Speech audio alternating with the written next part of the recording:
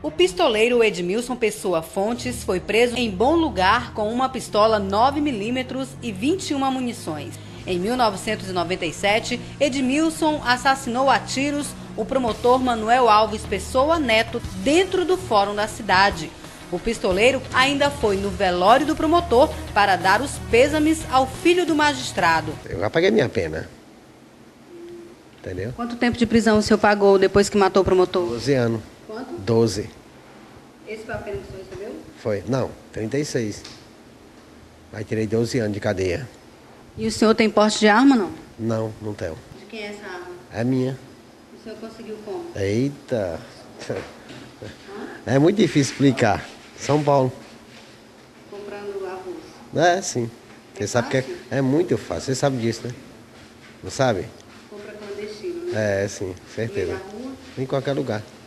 Por quanto que senhor comprou? Ah, comprei por 2 mil. É.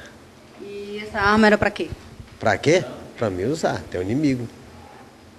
O senhor tem inimigo em relação com você porque o senhor matou o promotor? Ah, e muitos, né? Tem muitos inimigos. Aí tem que andar preparado, né? A sua outra passagem é de quê? É homicídio, presidente Dutra. Você matou quem lá? Matei um cara lá. Por quê? Mexeu comigo.